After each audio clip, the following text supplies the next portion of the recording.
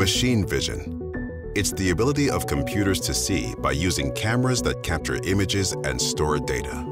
When integrated with artificial intelligence and trained using deep neural networks, the technology transforms to become perceptual AI, enabling an array of applications and uses across multiple industries.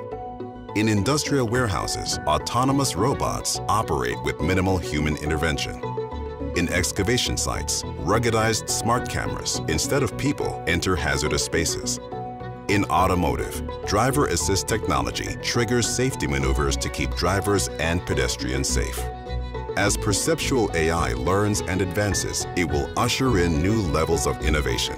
From retinal imaging for early diagnosis of vision problems and detection of heart ailments as well, for early medical intervention and prevention non-invasively to cobots that can see and understand human language, gestures, and facial expressions, giving them the ability to understand what's happening around them, redefining what it means for machines to work safely and efficiently alongside humans.